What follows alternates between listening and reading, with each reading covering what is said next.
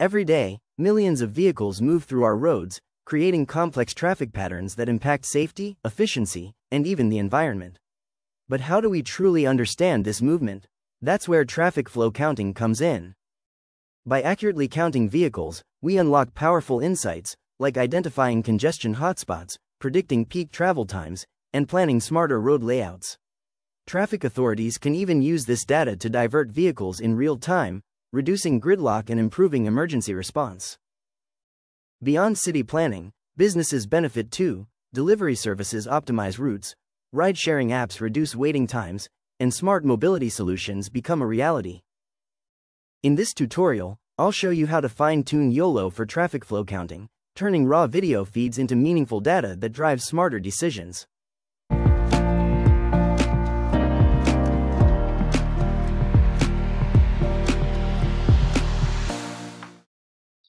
Hello everyone, welcome to this tutorial on fine-tuning YOLO for traffic flow counting. As you've seen our intro, in this tutorial we are going to learn how you can create computer vision logic and fine-tune YOLO to create a script where you can count the flow of traffic, traffic in a particular region. So to do that, you just have to follow some steps. Our first step is to import the required libraries. Now for plotting region to track object I have created a simple script where we have to just uh, store the polygon means the points where we have clicked to store the value of our region.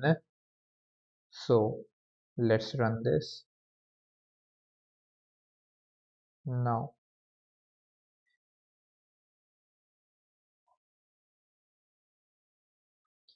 I have to just click the point I want to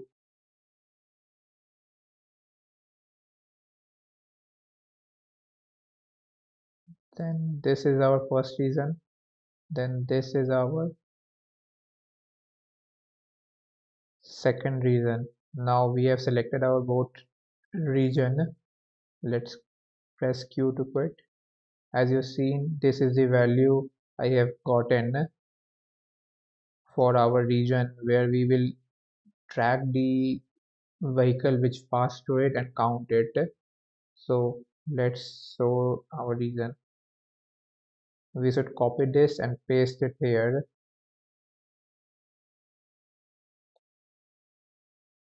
So this is the reason I have selected. So our first step is uh, completed. Let's get to next step. In our next step we have to write the logic behind how we are going to count the vehicle when it passed through the region we have uh, plotted. So to do that we just have to create a tracker dictionary with each polygon region as its key and its counter value as a dictionary value. And when we track it using YOLO model it will just increase the value by one. So how our logic going to work here? We are going to track not only track the bounding boxes of the uh, object but we are going to track the centroid of the object. So it will make us easier to detect if that centroid is in our region and increase that region value by 1 so I have written that code so let's run this.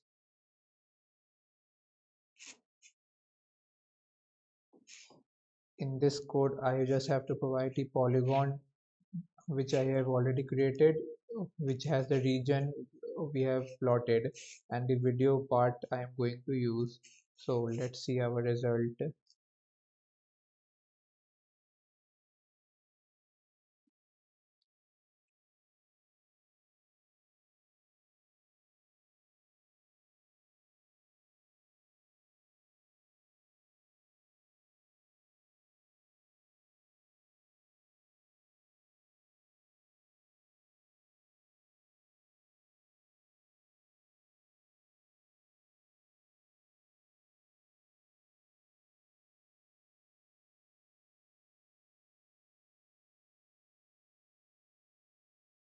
As you see in our inference result, the logic worked perfectly. All the vehicles which passed through the region were counted and the value counted increases perfectly.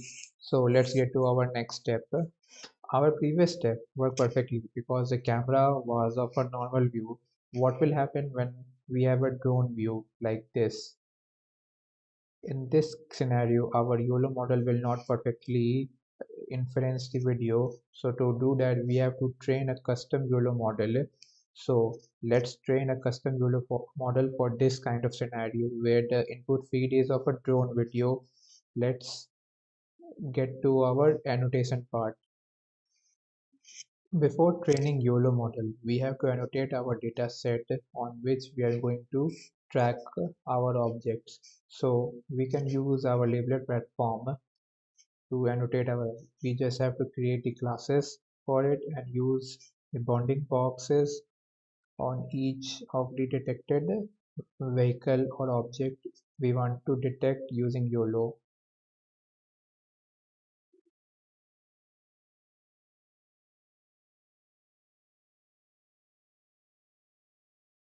Similarly, we will repeat this process until all of our data set uh, has been annotated and export that in the CocoJSON format. When you export the annotation in CocoJSON format, next process is you have to clone this repo. Using this repo, you will convert your Coco to YOLO format for custom model training. I have already done that. It looks like this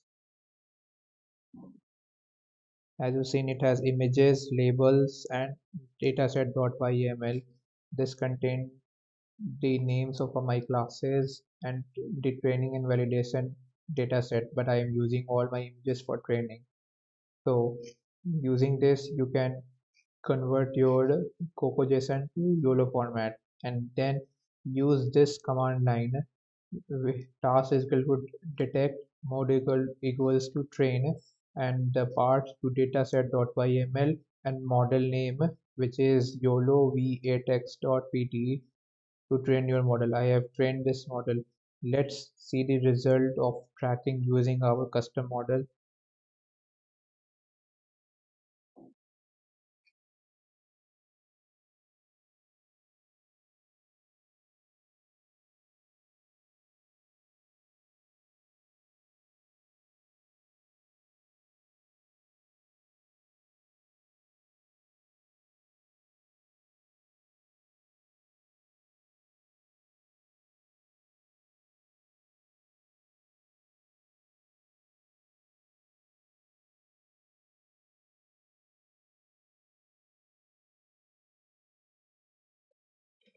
As you've seen, our tracking using custom model works perfectly. Now we have to repeat our previous task like creating region from where if, a, if the object passes, the counter will be increased by one. I have already created a region I am going to track. Let's see the region. So these are the four region i have selected. The this is road 1 road 2 road 3 road 4 and when the car passes through this it will automatically increase the counter value by 1 for that specific reason. Let's see our result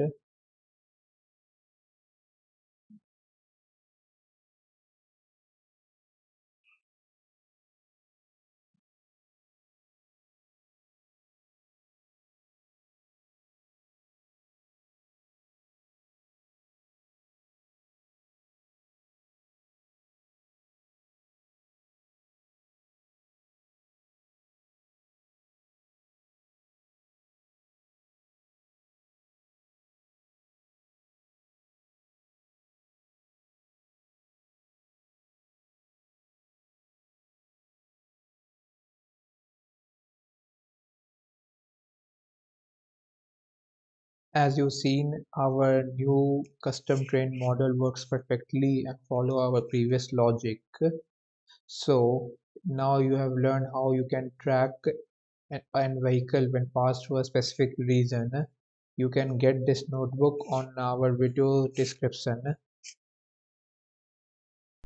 For more computer vision or machine learning related tasks, you can check our GitHub, where you will find everything in one place.